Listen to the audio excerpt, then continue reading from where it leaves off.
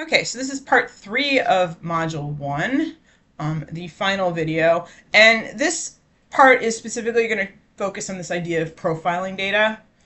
And profiling data is essentially exploring data. Now, I want to distinguish, though, from calling it exploratory data analysis um, because it's a little different.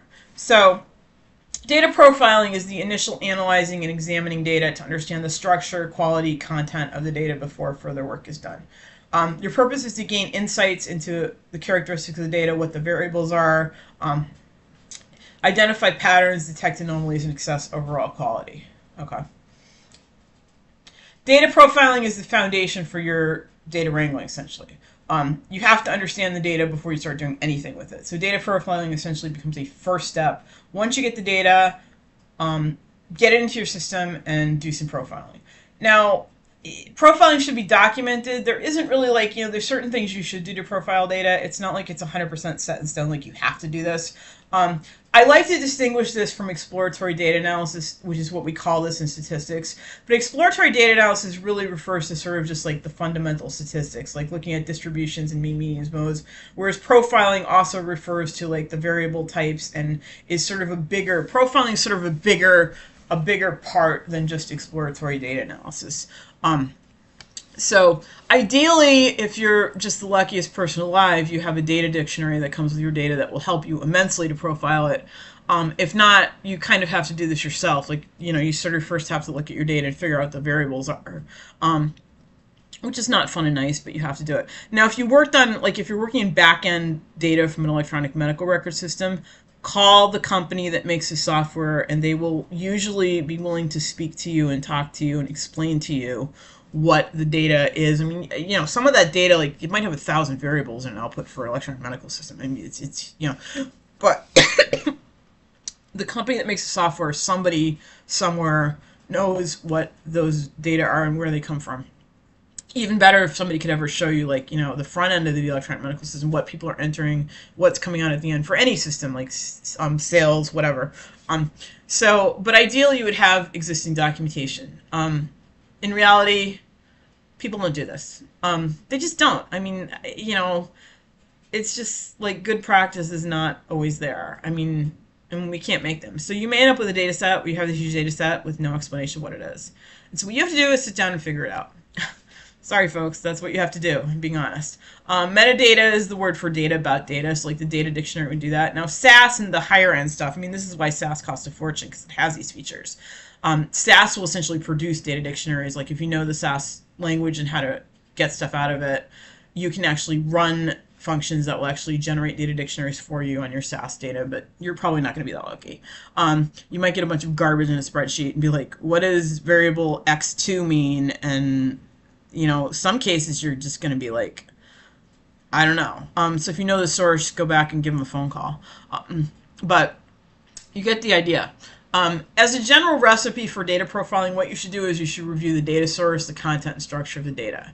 Um, you should profile categorical variables because categorical and numeric, I mean, there's basically still, you know, despite there being sort of nitpickies about data types, basically data is numeric or it's not numeric. If it's numeric, you can do your sort of exploratory basic statistics kind of stuff. If it's not numeric, profiling will typically involve like frequency charts and things. I, fre yeah, frequency distributions, things that you can do with your categorical variables.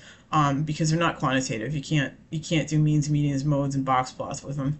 Um, and then document your issues and how you plan to address those. Okay, so when you review your data source again, where did the data come from? Is it trustworthy?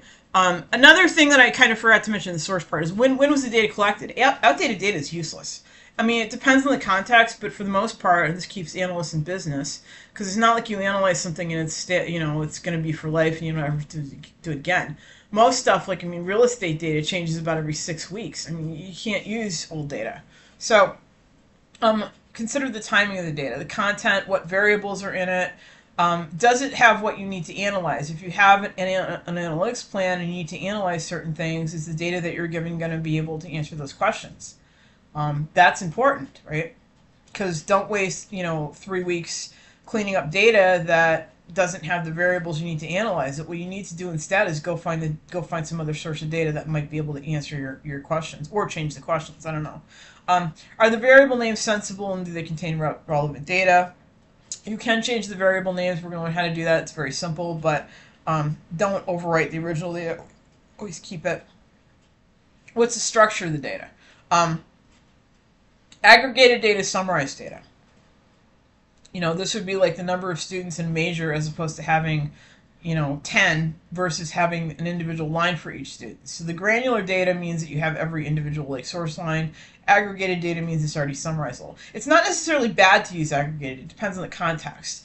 Um, aggregated data has lost that sort of basic information, but you know that might be okay depending on what you're doing. Um, is your data long or wide? Right now, you don't necessarily know what that means, but we need we need to restructure. Right. Keep in mind that the cleaning, modifying, restructuring paradigm that we're going to follow for this class.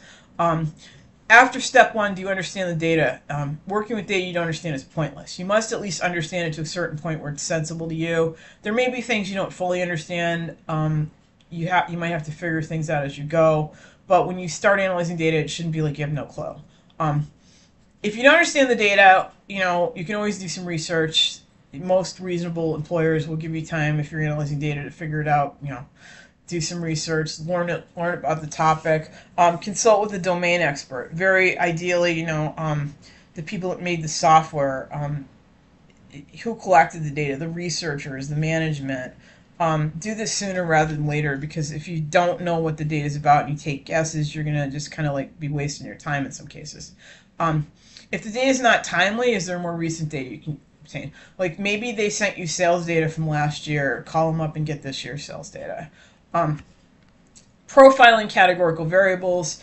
Uh, second part, categorical data is data that is not numeric. So your basic quantitative data um, is categorical data. Typically, I would use frequency tables. Frequency tables will detect all kinds of issues. Categorical data is usually reasonably simple to fix. In this course, we'll you know look into Excel. I actually personally think Excel is more useful than programming for a lot of the stuff.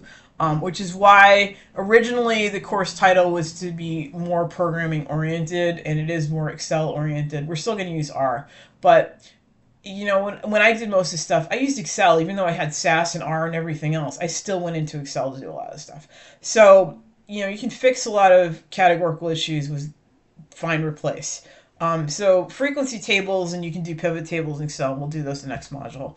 Um, that's how you fix them. Here's just some stupid examples that I was playing around and generated. Um, so you know, spelling errors and fixing things. You can there's functions in Excel that will change the capitalization of these and make them all consistent. Um, you know, spelling errors. Spelling errors are usually not super hard to fix. Um, find replace is like your buddy. Um, you know, so these kinds of things. Um, and that's typically what I would do. A crosstab is another thing you can do. A crosstab is one variable by another. We do these in stats too with chi-square analysis. Um, but if anything looks funny, like, you know, you do a crosstab and you see, like, you know, all the females got F's and all the males got A's, um, that's, there's something biased about your data. I mean, it is what it is. Um, you're not here to necessarily, um, you don't change the data, you analyze it, but it will give you a clue as to what's going on in your data when you see things like that. Um, categorical variables can be graphed with various, this is just a frequency chart, it's pretty. But your goal in profiling is not prettiness and presentation. Presentation and graphing is data visualization communication issues. When you're profiling, you're diagnosing things. It's not likely that anybody's really going to see your profile plots except for you. Um, so don't like futz around and make things pretty, although this one's kind of pretty. Um, this is a mosaic plot of two categorical variables. Um, so that's your categorical analysis. Numeric data, again, you can do frequency tables for just about everything. Not everything, though. There's a couple exceptions to that. Um, binning quantitative data, everybody learns how to do this in Stats 1. Um, histograms, again, everybody learns this in Stats 1 too, to look at distributions.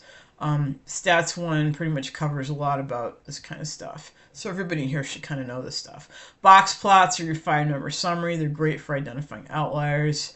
Um, looking at the distribution of data. I don't even know what data this is. Sorry, I forgot. But um, summary metrics, again, your stats one material. Measures of center, measures of spread. Those are always kind of redundant with looking at the distributions. But, um, you know, what, what do you have? What's going on there? Um, that should say mode, not model. I got to fix that. It bothers me. Um, I think I did a spell check and picked up on that. All right. So, you know, um, look at your basics basic stuff. Um, this just comes from Excel, like um, descriptive stats type thing um, with the data toolkit. Um, and when you finish profiling, you should document your issues as well as probably keep everything profiled.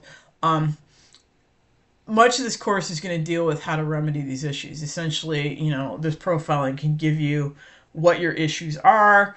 And then, um, I mean, if you have no issues, great. That's kind of surprising though. But even if you have no issues, like in terms of data being inconsistent or whatever, um, you still the elements of this course, like the the first two units of cleaning, um, might not be as applicable, but the final unit of restructuring, you may still need to add data or aggregate data. So even if you have perfect data, you still probably will do some wrangling on it. Um, so you should document what you find in your profiling. And what you will do for exercise three is um, I wrote up in R, there's a couple packages that do automated profiling, and you, of course, are going to do that and then that profile that you do is actually going to become what you discuss and present for week two. Um, so you'll get some hands-on data profiling experience. Um, and that is the end of uh, Mod 1, Week 1 material for the lecture part. Um, awesome. We're good.